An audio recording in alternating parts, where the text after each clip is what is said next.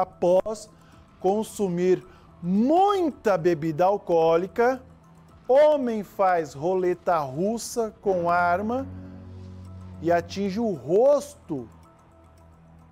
Ele efetuou o disparo da esposa. Ah, não. Eu... Vamos ver se você Ai, o que, que é isso, gente? Para, para, para, para o mundo, para o mundo, eu vou descer, larga a mão. A vizinha toma café para ir acordar para brigar com a outra lá. O outro enche a cara de cachaça e vai fazer roleta russa com a e acaba na esposa. Isso, segunda-feira.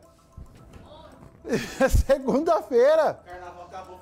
O carnaval já acabou faz hora e o povo ainda tá loucaço, ainda tomando tudo. Onde que aconteceu? Lá em Paranaíba. Alex Santos.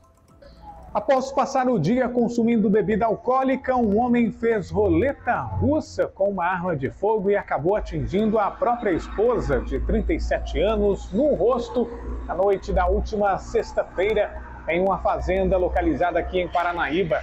O homem de 36 anos acabou fugindo do local e a vítima foi socorrida por vizinhos.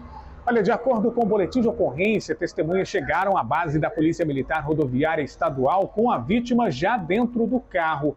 As testemunhas são vizinhas da propriedade rural que afirmaram ter escutado disparo de arma de fogo, então decidiram ir até o local. Quando entraram no imóvel, viram a vítima lutando com um homem para não pegar um revólver calibre 32 da mão dela. Ao ver os vizinhos, o homem acabou fugindo.